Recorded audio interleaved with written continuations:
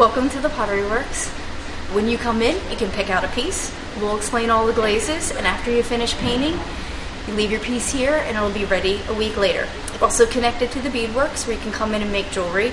A lot of teens um, come into the store after school. It's something to do uh, before dinner time, before you have to do your homework. It's also a great activity to do on a rainy day or for just some summer fun. I came here the first time with my youth group, and that was a lot of fun learning how to do it. And I've came back since with friends and family, and we've all learned how to do it. We can come here and make uh, necklaces and bracelets and earrings, and they're great for presents. And it's a lot of fun because you made it yourself, so it's a lot of fun to wear it and show it off. An average cost to come in is about fifteen dollars.